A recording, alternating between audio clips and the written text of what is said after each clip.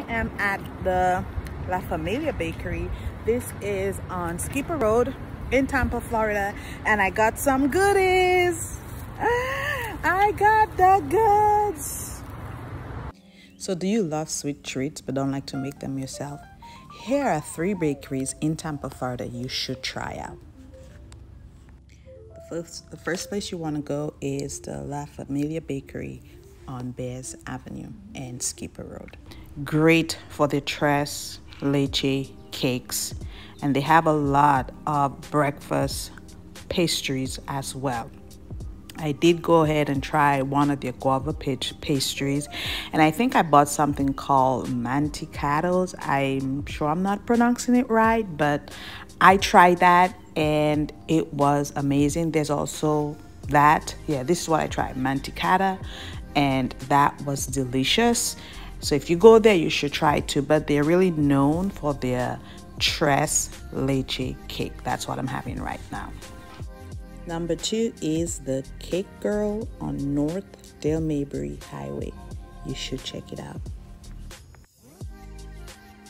Again, uh, this particular bakery is on Dale Mabry Highway. It is at the corner of Dale Mabry and Bears Avenue. Now, if you're looking for cupcakes, this is where you want to go.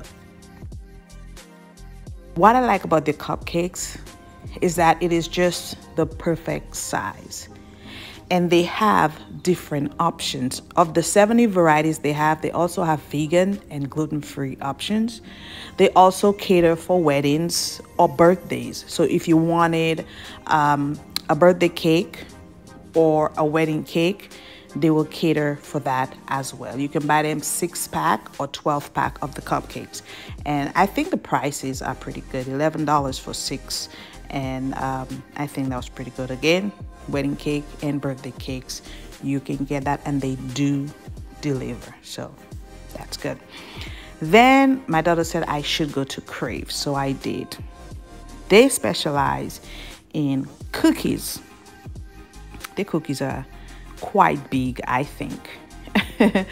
Um, once you enter into the establishment it has a nice feel to it um, we went during Thanksgiving time, so it was it was it was good. I like the the atmosphere there. But uh, what I like about it is that you put in your order at a kiosk. So you come in and you put in your order at a kiosk, and if you get in a drink, you can um, customize your drink, which is soda, because that's what they do too. You can customize your soda. I did go ahead and try the zero sugar Sprite with lemon and I did try something else. And I thought the cookies were really delicious. They were soft and moist and big. yes, they were big, but they were delicious.